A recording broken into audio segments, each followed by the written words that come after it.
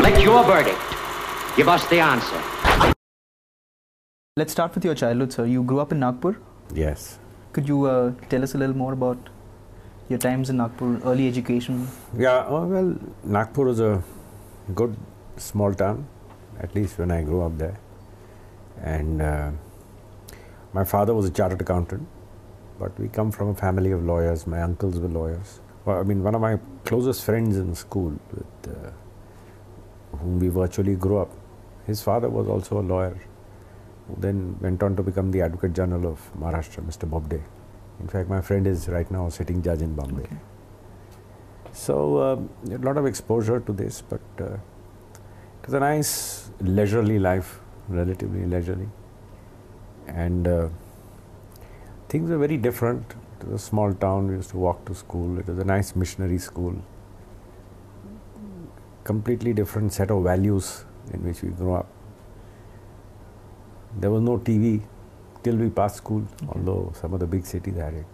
So, perforce, we got into the habit of reading and uh, those kind of things. So, it was a very enjoyable childhood, and I feel somehow. I mean, my children grew up, were born in Delhi, grew up in Delhi, and there are a lot of advantages of growing up in a big city, the kind of exposure you get. But sometimes I also feel that there is a, there are some things, some advantages of growing up in a small town which you don't have in a big town. There, in fact, sometimes there are too many distractions in a big city which you don't have. Like, for example, our holidays in Nagpur, where we, I remember when we passed our uh, college, for example, we, three of us friends got into a car and went driving into the uh, forests of uh, that area, to the Western Ghats. Every time on a weekend, our idea of partying was uh, running, a- getting into a jeep and driving off into some remote place. And of course, you would sneak your bottle of beer or your bottle of rum and go and have fun there on the weekend. But that made you very close to the environment. So, f- enjoyment meant going into some picturesque spot, spending a night, going and staying somewhere where there is no toilet, where there is no facilities. You're in the forest, you're going in the morning, sleeping outside, stuff like that. So, that added a lot of charm to life. Is that behind your great passion for forests? forests were a way of life for us, and we sort of grew up. And the interesting thing uh, is, uh, my father was an avid uh, shikari, Okay. and one of his uh, friends and clients was uh, a former minister, Mr. Vidyacharan Shukla. He used to run a shikar company, Allwyn Cooper. So, and a lot of his friends were shikaris. And I remember as a little kid, I even got my, there's even a photograph of me sitting on the bonnet of a jeep uh, next to the uh, carcass of a tiger Okay. whom these people had shot. Hmm. But having said that, for some reason, by the time we were 14, 15, we gave up any kind of shikar. We had friends with whom once and once or twice we went hunting, but uh, we had turned conservationists. And one of my friends, who was uh, the biggest shikari of all of us, is he owned a lot of guns. God bless him, he's no more. He died last year. Who was one of the biggest shikaris, Feroz Patel, and who owned a lot of weapons and stuff like that. In fact, turned a staunch conservationist, and he was a part of the uh, WWF. And till uh, till he died, he used to sort of keep egging me on and you know coming with projects saying we are doing this and we must do that and stuff like that. So you started professional life as a chartered accountant. Take us a little bit uh, through your experiences as a chartered accountant, your shift to law, and uh, I've also heard a lot about your uh, great interest in tax law. When I was fifth, sixth, seventh class, I used to I wanted to be an engineer, but soon that idea fell off along the way when I started reading the Perry Mason novels. in any case, by the time uh, I grew up, I was pretty keen on chartered accountancy. And my father had a firm, so I joined chartered accountancy. And uh, my father, being a chartered accountant, had virtually given up, even before he joined politics, had virtually given up all uh, accounting work, which his partners used to look after, and he did exclusively, he did taxation work, which brought him in very close contact with Mr. Palkhiwala. And Mr. Palkhiwala virtually was like a mentor even for him in his tax work. So we heard the name of Mr. Palkhiwala from a very young age. And I remember meeting Mr. Palkhiwala for the first time when I was 10 years old. He came to our house in Nagpur. My father had got him to Nagpur to argue some case. So, you know, you were a part of that world. I remember meeting Ashok Sen when I was 16 years of age, who had come to Nagpur to argue a case where my father was instructing him in the High Court. So, I saw all this happening uh, in front of me.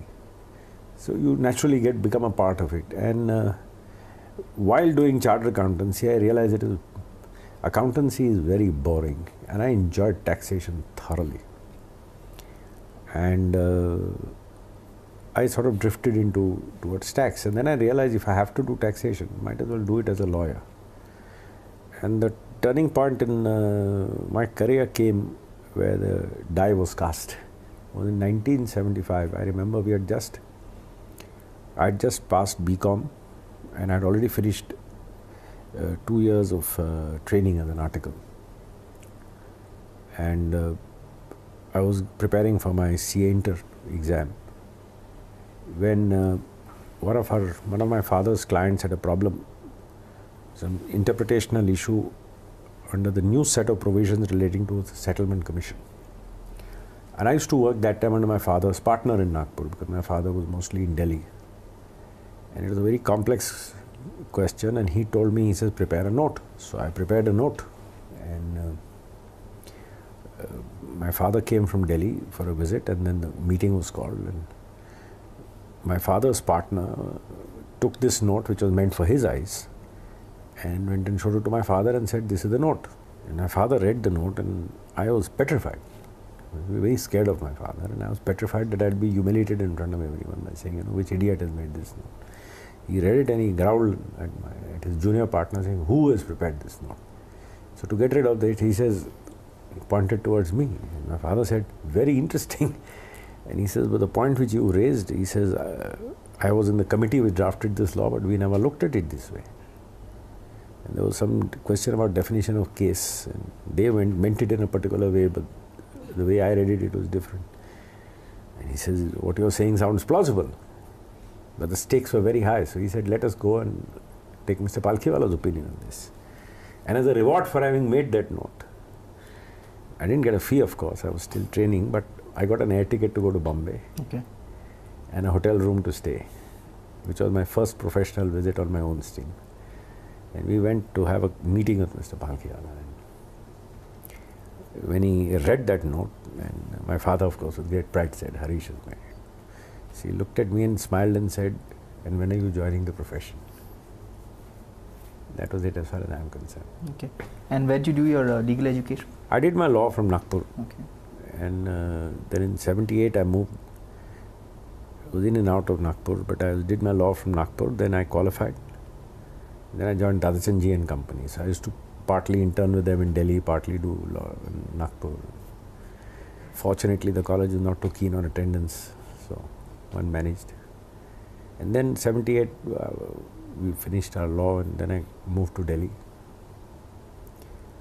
Full time with Dadachanji and Company for two years but I kept my degree back because my father still wanted me to continue the chartered accountant. And then I, some practical work to finish. So I finished that, and then 18, I formally qualified, although 78 we finished.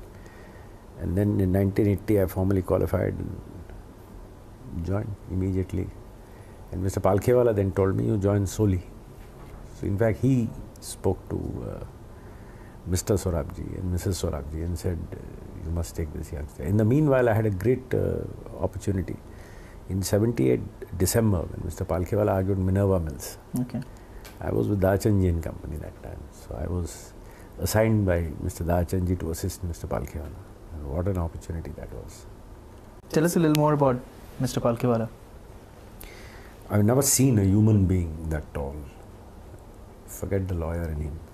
I mean, as a lawyer, he was amazing. I've done so many cases with him. I've done tax cases with him. And the way he read a section, you went to him with a question, he read the section, and you said, I don't need your answer, you've already answered it. So that, that was his capacity of analysis, and his expression was marvelous. his skills, forensic skills, were amazing. His advocacy skills were amazing. I mean, I noticed I was young then. I noticed one thing very interesting when he was arguing Minerva Mills. He put a proposition of law and get resistance from the judges. So he sort of get into his rhetoric and whip up the emotional side. He'd bring up and you know Gokhale's infamous speech about the court being a let and a hindrance. He'd get everybody's adrenaline flowing, and he'd put the same point of law and bang on. It went in. So I said, wow, yeah, this is an amazing skill. I got to know him personally very well because after 1980 I did number of matters with him. The famous Lohia Machines case, which he argued in 1983, we worked together. And then I saw the personal side of Mr. Palkhiwala. And uh, my wife, he was very fond of my wife. He visited our home. I mean, I was a young lawyer that time, but I invited him for dinner. He says, Of course, I'll come. So he came for dinner and then when he, we were in Bombay, he called me over, and I must tell you what a man he was. We were appearing together in the income tax tribunal. I was appearing with him in a case for uh, the Singhanias, Raymond Mills. And he passed a slip to me. And I said, Yes, sir, that is fine. And the solicitor leaned over and said, What is it? I said, No, Nani wanted some book, and I told him it is here. The truth is, he had passed me a slip saying, Well, Minakshi drink sherry? or will she have something else?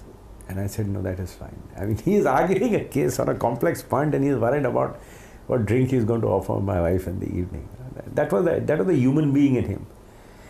And the first time we visited his house, was what an experience it was. We were sitting in his, he had a little terrace kind of a thing with a lot of greenery. And he told me, he says, I would have loved to call you for dinner, but uh, I'm going out. So you must come for a drink. I said, okay.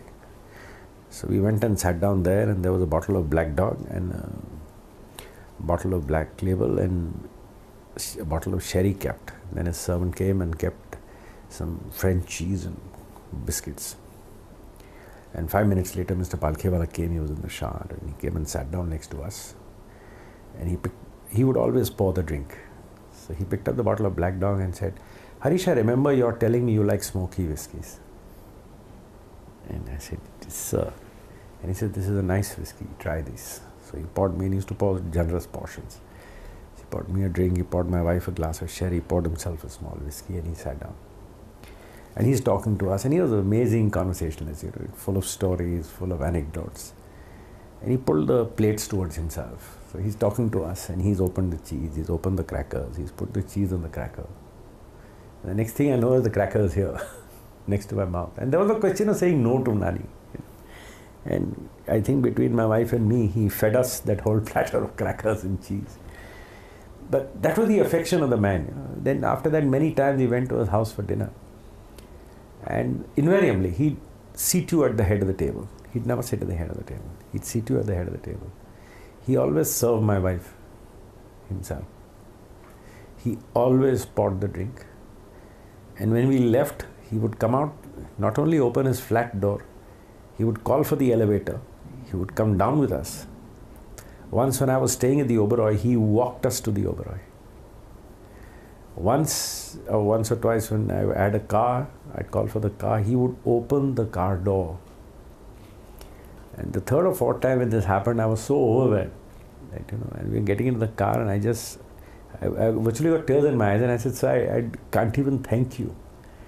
And my wife also, you know, she was overwhelmed. And she said, Sir, I, I, we don't even know what to say. So he pulled my cheek and said, uh, You don't have to say anything to me. You know, when I first saw your husband, at that time, he was this much above sea level. He's a very dear friend's son. He's like my own child. This was the man. And I've learned humility, lessons of humility, lessons of what a human being should be. We can only aspire to be something like that. So, about your initial years at the Supreme Court, you worked at the chambers of Soli Sorabji. Um, what do you think about the system of mentorship at the Supreme Court? Soli always had juniors, and he was a marvelous senior. When I went first to interview for an interview, he's in his Parsi Marathi. He told me, Tel kadin mi tuja. I'll take you know, oil, eh, sort of squeeze oil out of you. And I replied to him in Marathi, Kara sahab push kore, You know, please go ahead, there's lots of oil to take out. He was true to his word. he worked you to the bone. But it was a glorious experience working with him. He was a friend. We, we shared a passion for jazz. And he was amazing. And he was always willing to hear that maybe he's thinking wrong he was always willing to hear that maybe you had a good point. So he was not one of those intellectuals who sort of put his juniors down. I mean, he was short tempered. He, he, could never, and even now uh, he can't suffer fools. But having said that, if he respected you, and he always had immense affection and respect for me, he was he was fantastic. I mean, there have been juniors who sort of left because they couldn't handle his pace and his, uh, his and Soli uh, worked at a hard pace worked at a fast pace. If he pushed you hard, he pushed himself hard. And it's, it's always fantastic when you're training with somebody who pushes you hard, because that brings the best out of you. And conversations with him, I was telling you, always had to be staccato, you know. Very short on patience. So you to, if you said and said, Soli, I have to tell you something. Yes. So you have to say three things. You have to say that in advance. So, okay, first, so you tell this. Okay. Second, oh, okay. Third, okay, bye. That's the man. And it was a wonderful experience working with him. So, if so I'm something today, I think it's in very large measure, if not entirely, because of what I learned at his chambers. Reflecting back on these experiences, what do you think about the system of mentorship right now in the Supreme Court? Relationship between the senior bar and the junior bar? I think it is uh, pretty good. I think there are a lot of seniors who do take juniors. Mr. Venugopal takes them. I think Rajiv Dhawan takes them. A lot of the seniors take juniors. And a lot of them, uh, I maybe we get uh, perspective from our perch. I think most of them are pretty good to their juniors. So I think it's uh, working pretty well with the top seniors. Beyond that, I really can't say. So you um, you became Solicitor General at an interesting period. Uh, privatization and uh, slew of other cases. Could you take us through that period? See, I became Solicitor General in 99 November, and uh, quite a bit of the landscape had changed. And it was a very interesting experience working for three years. Being a chartered accountant and being therefore exposed to the commercial world, I had a natural advantage. And in fact, even Soli, many times when these kind of cases would come, would tell me, you know, you deal with them because basically he was a constitutional lawyer, human rights and stuff like that. He knew tax. He used to do a lot of tax work, you know. But for me, valuation of shares was pretty easy. Soli had a mental block with figures, always does. So he always felt more comfortable, and he was very accommodating. Uh, I mean, he never had any real ego problems. He used to say, "You deal with these cases." So I got a chance to do some of the real initial good work. The anti-dumping came. The first anti-dumping case in Supreme Court I argued a lot of the uh, advice, background advice for the WTO negotiations, they used to come and run it by me and used to guide them from time to time on how to deal with the WTO. A lot of the challenges to the WTO laws, Vandana Shiva and these people brought, I defended for the government. And then, of course, the first uh, successful privatization, the um, Balco. And it was very interesting having, working with a minister like uh, Arun Shourie. And Pradeep Baijal, I remember, was the secretary. And were, Arun Shourie is quite a technocrat himself, a man for detail, a man for with an eye for figures. So while Soli argued the legal bits, I argued the commercial bits of that case to satisfy the conscience of the court that there was no monkey business in the valuation and how it was done, what principles were followed, stuff. It's very interesting, and we saw the we had to sort of turn the Supreme Court around a little from the court of uh, the socialist era to the court of the liberalization era. And I think one of the most remarkable changes which the Supreme Court brought in the law was uh, dealing with contract labor regulation. The earlier principle that if you abolished contract labor, all the workers automatically became workers. Flipping it on its head and saying, no, you can't do anything like that. If you abolish contract labor, so be it. The workers go home. So that sort of virtually paved the way for outsourcing. And that was a remarkable uh, revolution in the law, and Supreme Court did that. And as Solicitor General, I argued the case for the public sector undertakings. So it was very interesting those three years. We did a lot of. We did the initial work on the Competition Commission. Mr. Jaitley had set up a committee as law minister, and then. Um, the uh, entire electricity reforms were sparked that time, and it was a very interesting coincidence how it happened. Of course, they were on the annual 1998 Act had already come. Madhya Pradesh government had, Madhya Pradesh board had huge dues to the coal companies. To the point coal companies said, we are not going to supply you coal. Mr. Vivek Tankha, a very clever advocate general, he filed a petition on behalf of the Madhya Pradesh Electricity Board for a mandamus to the coal companies to supply coal. I was not there, but I'm given to understand he quite theatrically had the power switched off when the case was being heard and told the judges this is going to be the order of the day if you don't give me an interim order. And he got a, quite a dramatic order from Justice Bhavani Singh saying uh, coal companies will not stop supplies on an undertaking by the electricity board that they will pay as much as they can. we brought an appeal to the Supreme Court. Of course, Supreme Court was red-eyed when they saw the order and said, "What is this nonsense?" For the coal companies, I moved the matter. But at that time, Mr. Digvijay Singh was chief minister, and he came to the government and said, "Listen, for future, I'm willing to make arrangements. But I, when I get the electricity board, I'm inheriting a huge baggage of liabilities. Now, if you want me to pay the entire 5,000 crores of the past, I can't because I don't have that kind of money. So why not we find some way that we sort of block the past we find some solution for the past and find way forward for the future. The government then set up a committee under Mr. Montek Ahluwalia and I joined that committee, although I was Solicitor General. It was headed by Mr. Ahluwalia. Jairam Ramesh was on the committee. And that committee for the first time came up with this report saying that very well, you securitize the past dues and for the future you provide for bank guarantees and stuff. And that then paved the way for reform because then the logical step was that mm. actually you must unbundle and after unbundling and I, I, very interesting in 2000 i visited los angeles and that time pacific uh, electric had filed for bankruptcy so i met the lawyers who were dealing with that and they explained how what the problems they were facing and what how the unbundling had happened and so so we came and we worked on that and the world bank then got into the act and said well very we, we are willing to bankroll losses for a defined period of time if you promise us unbundling. And that's how the whole thing happened. And then uh, we worked on this draft for quite some time. I worked on this draft, which ultimately then became the 2003 Electricity Act. Mr. Suresh Prabhu was that time minister, and he became a very good friend. And we did a lot of work together. He was also a chartered accountant. Okay. So we did a lot of work together, and he was one of the finest ministers I've seen. Very down to earth, very straightforward, very fine person. You also do a lot of pro bono work, sir. Yeah. Um, what drives you? What motivates you? Pro bono work is very important because a lot of the pro bono work which we do is actually the work which gives our court its identity.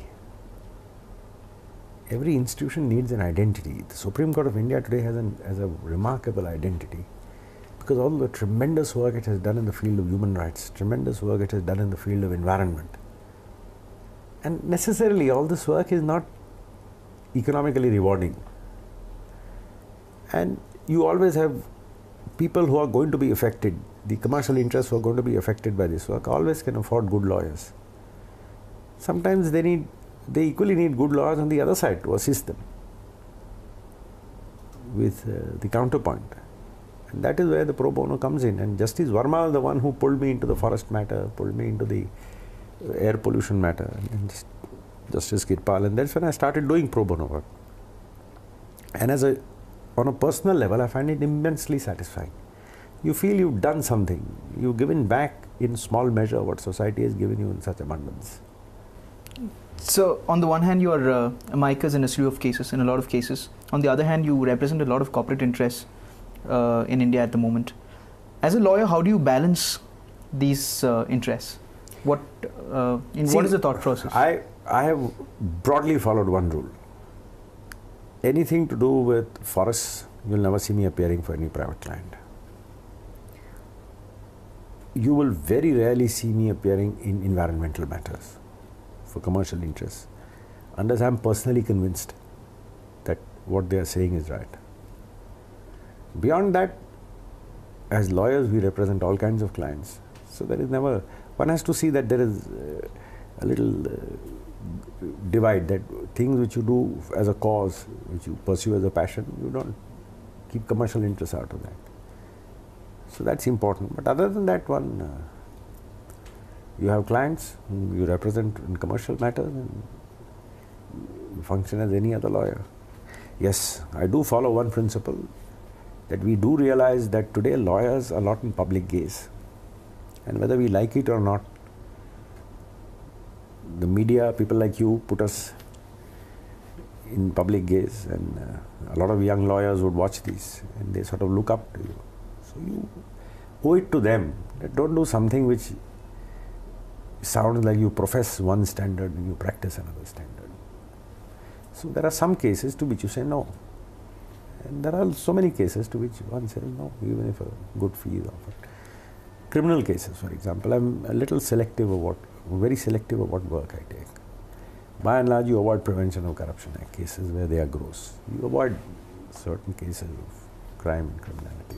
It's another topic a lot of uh, advocates are very loath to talk about, which is uh, stardom. In a way, you're recognized everywhere. Any, every court in India that you go to, you're recognized. Any law school in India, every law student recognizes your face. You're one of the highest paid lawyers in the world. How do you feel about stardom? Very honestly uncomfortable.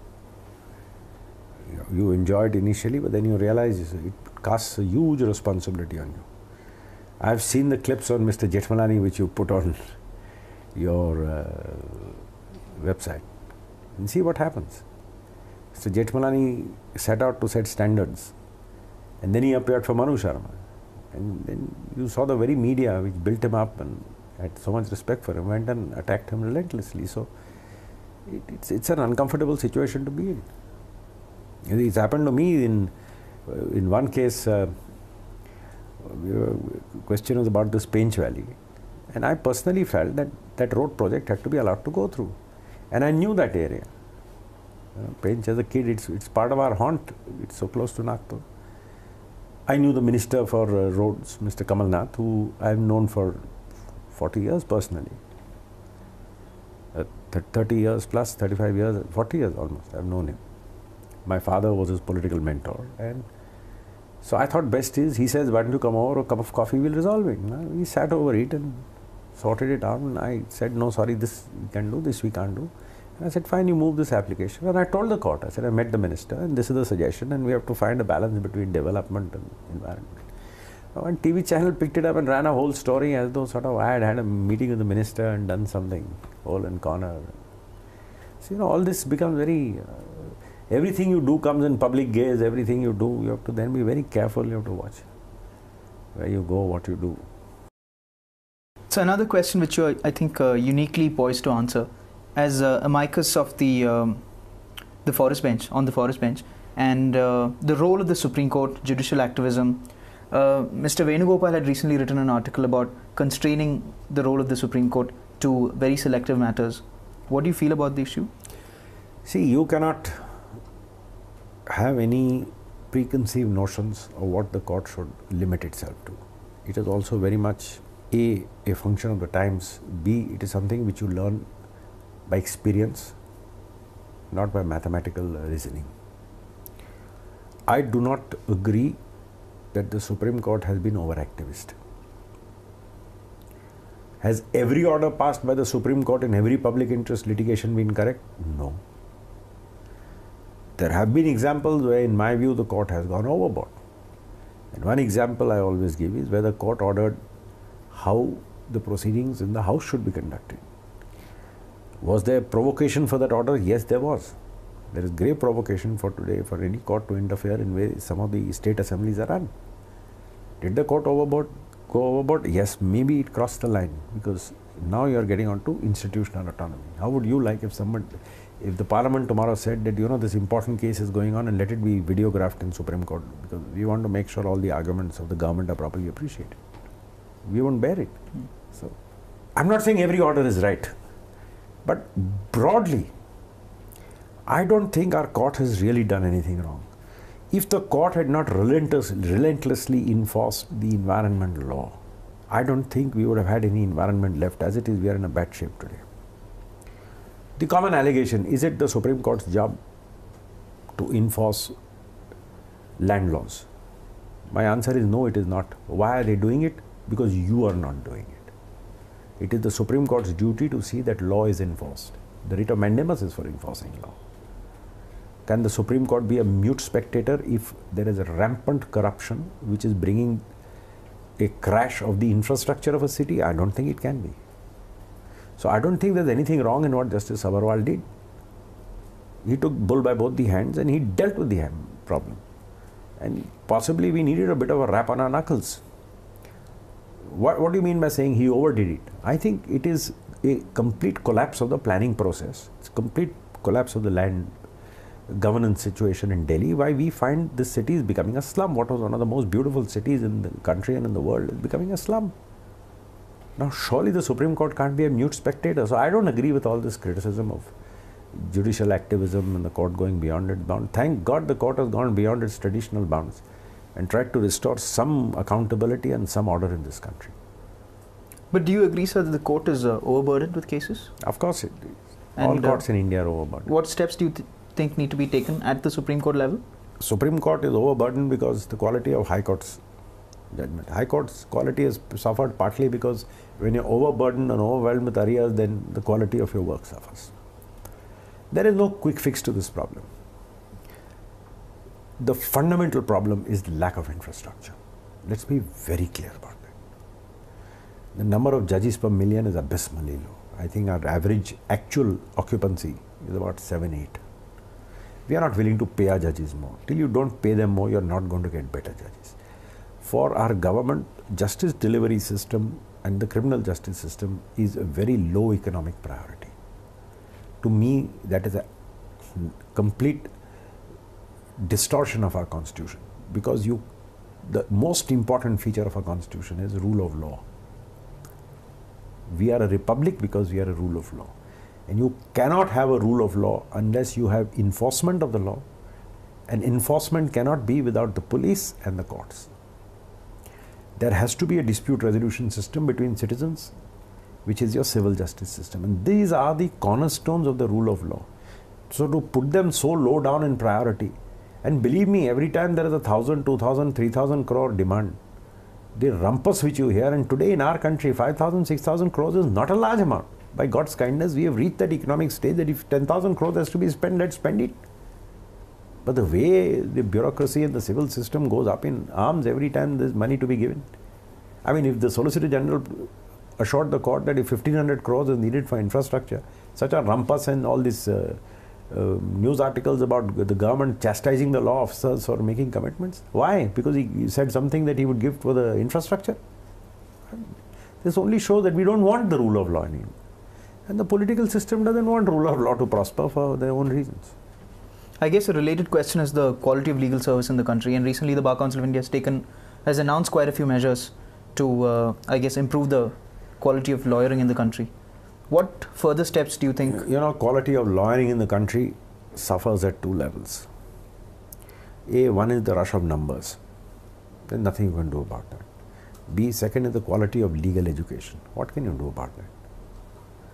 You have all sorts of law colleges and all sorts of universities unless you have the kind of powers which are available with the medical council, unless you have that kind of a power, and create treat law as a serious profession and create those kind of regulatory systems, quality of legal education is not going to improve. The third is for training of lawyers. Take take take in corporate law. This nonsense you have about foreign firms not coming in. I mean, if they come in, what do you mean by saying foreign firm? They'll come in. It will be their name. It will be Indian lawyers who will be working but they will learn the work and the culture of those firms which have worked for years and uh, tens of years in those systems. They will bring quality to India. But you want to block them because a few big law firms, monopoly will be disturbed. So unless all these distortions are taken away in the system, we are going to be with this problem. So, what about um, life outside the law? Uh, you mentioned you are a, a jazz I'm a music aficionado. fan, Yeah, You play the piano? Sort of. I think I do. Others may disagree. and uh, dog. I love my dog. I love. Tell us a little bit about that. Oh, I have a. I was a passionate uh, dog person, and that's why I never got dogs because I knew once I get them, I wouldn't stop. My wife broke it by. fir- First, we had a dog. Then he died in '98. Then we got another. She got another small dog, four years back. And then there was no stopping us. Okay. So I have my pair, which is my pair of Rottweilers. Yeah. Such beautiful animals, so loving and scary for others. But What other passions, sir? If you could. my passion is music, and I'm a total family person. So very private person. I spend time with my family, and summers two months shut shop, Okay. and I'm in London. We have a lot of friends there. Summers in London are a, becoming a passion. So something that's uh, that I've very often heard uh, spoken about you is that there is no one like Harish Salve when it comes to courtcraft or reading the bench. Is there something that you'd like to tell our young lawyers or law students who might be watching it? See, we have to understand you're selling an idea. You're, you're, when you're arguing a case, you're putting forth an idea to two human beings. So you have to be sensitive at every point of time of what they are hearing, not what you are saying. So you have to see what they are hearing. You have to see what they are thinking. You have to bring them around to your point of view. Be never be dogmatic. Because if you dog, if you turn dogmatic, you lose connectivity with the person who's hearing you. That person feels he only has his point of view. You have to to convince somebody. If I'm having a chat with you, and if I have to convince you to do something, I must bring you around to a common ground. If I talk down to you, you will hear what I have to say, say thank you very much, and go and do exactly what you want. So if you feel that the judge must shut up and hear you, you ever push a judge into that situation, he will shut up and hear you and go and do exactly what he wants. And that's not what you want as a lawyer. So you have to, you have to draw them out and see what they are thinking, see what you are thinking, bring them around to your point of view as far as possible. Sometimes you realize that maybe you've got it wrong. So don't try and be intellectually uh, dogmatic. And that's what this exercise that's what advo- good advocacy is all about. That's what i learned from mr Palkhivala So just a few minutes on um, how you think technology has uh, influenced your legal practice, adoption of certain kinds of technologies. see i've been a i've been a gizmo kid always. And uh, i've been a passionate uh, this of computers. And uh, just to tell you we argued the vodafone case for 3 weeks in bombay. I did not for myself have a single scrap of paper. My entire brief all the judgments everything was on my apple 17 inch and my notes were on my ipad. And everything went so fast and so smooth and so easy. So I think technology, if we can adapt it for our legal work, legal research, notes, organizing stuff, presenting stuff, assisting judges to move ahead quickly, and saving paper, saving the forest, it all marries. Thank you so much, sir. I guess a related question is the quality of legal service in the country. And recently, the Bar Council of India has taken, has announced quite a few measures to, uh, I guess, improve the quality of lawyering in the country. What further steps do you think? You know, quality of lawyering in the country suffers at two levels. A, one is the rush of numbers. There's nothing you can do about that. B, second is the quality of legal education. What can you do about that? You have all sorts of law colleges and all sorts of universities. Unless you have the kind of powers which are available with the medical council, unless you have that kind of a power, and create treat law as a serious profession and create those kind of regulatory systems, quality of legal education is not going to improve. The third is for training of lawyers. Take take take in corporate law. This nonsense you have about foreign firms not coming in. I mean, if they come in, what do you mean by saying foreign firm? They'll come in, it'll be their name, it'll be Indian lawyers who will be working. but they will learn the work and the culture of those firms which have worked for years and cent- uh, tens of years in those systems. They will bring quality to India, but you want to block them because a few big law firms. Monopoly will be disturbed. So unless all these distortions are taken away in the system, we are going to be with this problem. So, what about um, life outside the law? Uh, you mentioned you were a, a jazz music aficionado. fan, Yeah, I'm You play the piano? Sort of. I think I do. Others may disagree. and uh, dog. I love my dog. I love. Tell us a little bit about that. Oh, I have a. I was a passionate uh, dog person, and that's why I never got dogs because I knew once I get them, I won't stop. My wife broke it by. First, we had a dog. Then he died in '98. Then we got another. She got another small dog, four years back. And then there was no stopping us. Okay. So I have my pair, which is my pair of Rottweilers. Yeah. Such beautiful animals, so loving and scary for others. But What other passions, sir? If you could. my passion is music, and I'm a total family person. So very private person. I spend time with my family, and summers two months shut shop, Okay. and I'm in London. We have a lot of friends there. Summers in London are becoming a passion. Okay. So something that's uh, that I've very often heard uh, spoken about you is that there is no one like Harish Salve when it comes to courtcraft or reading the bench. Is there something that you'd like to tell our young lawyers or law students who might be watching it? See, we have to understand you're selling an idea. You're, you're, when you're arguing a case, you're putting forth an idea to two human beings. So you have to be sensitive at every point of time of what they are hearing, not what you are saying. So you have to see what they are hearing. You have to see what they are thinking. You have to bring them around to your point of view. Be never be dogmatic. Because if you dog, if you turn dogmatic, you lose connectivity with the person who's hearing you. That person feels he only has his point of view. You have to to convince somebody. If I'm having a chat with you, and if I have to convince you to do something, I must bring you around to a common ground. If I talk down to you, you will hear what I have to say, say thank you very much, and go and do exactly what you want. So if you feel that the judge must shut up and hear you, you ever push a judge into that situation, he will shut up and hear you and go and do exactly what he wants. And that's not what you want as a lawyer. So you have to, you have to draw them out and see what they are thinking, see what you are thinking, bring them around to your point of view as far as possible. Sometimes you realize that maybe you've got it wrong.